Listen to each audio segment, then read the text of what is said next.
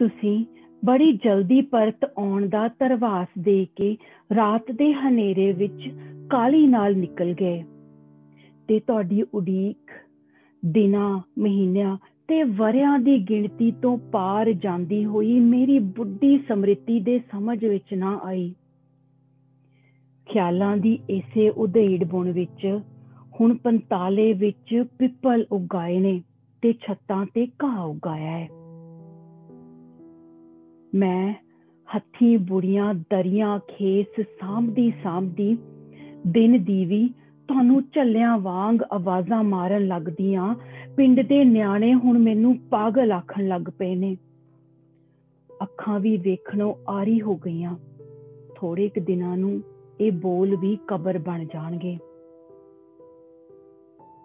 ਤੁਸੀਂ ਹੁਣ ਵਾਪਸ ਨਾ ਹੀ ਪਰਤਣਾ। ਸੱਚਮੁੱਚ ਇਹ ਘਰ ਵੀ ਹੁਣ ਤੁਹਾਡੇ ਹਾਣ ਦਾ ਨਹੀਂ ਰਿਹਾ।